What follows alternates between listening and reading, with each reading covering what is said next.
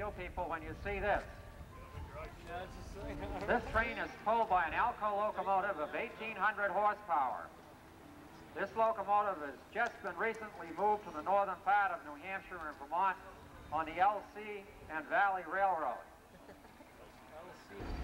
This is the Ray Burton Campaign Train 1990 with engine number 405.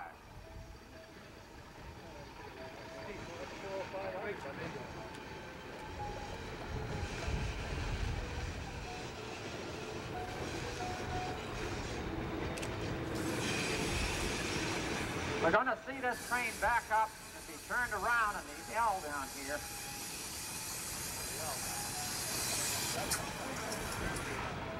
Oh, what? Ray Burton, a big round of applause. Here he comes in. He's in a caboose here, ladies and gentlemen.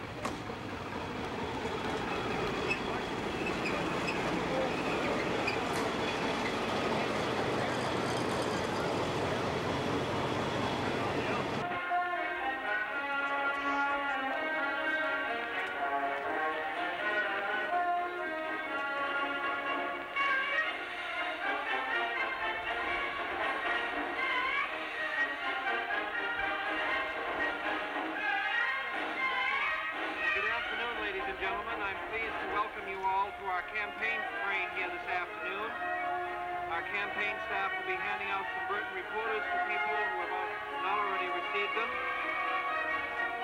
We're going to be uh, just disembarking briefly from the um, campaign train. We're getting back on and going across into Wells River and around the Y, and then we'll head back up the Ammonoosuc Road.